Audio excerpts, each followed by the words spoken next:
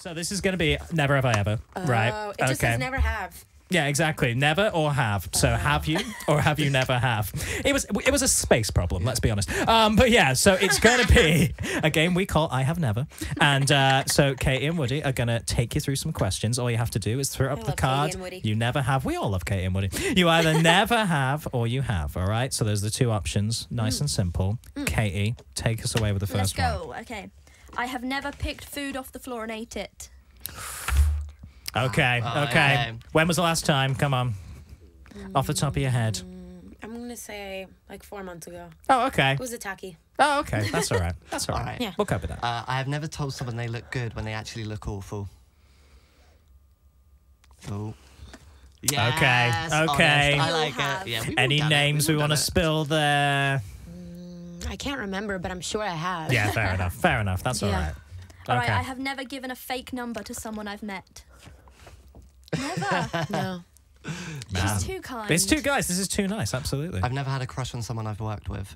Oh, oh. you know we're gonna push you for a name there. Come No. on. Ah, never gonna get Heck it. Never gonna get Had it. to ask. Come on. Uh, I've never forgot the name of a celebrity I just met. Ooh. Who was it?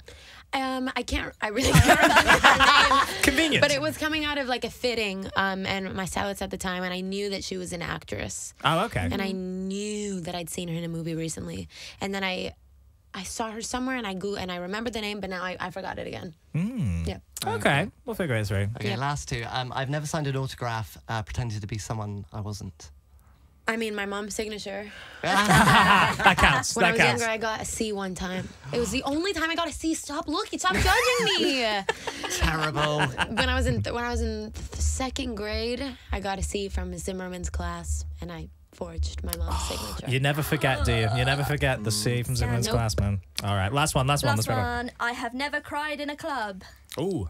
Wait. Hey, Yay. based on real experience. I think we all have, haven't we? We've we all all had have. those We've all had moments. I do it every week. Guys, week. let's do it together next time. Oh, let's just, just find a little crying corner in the club just do next time.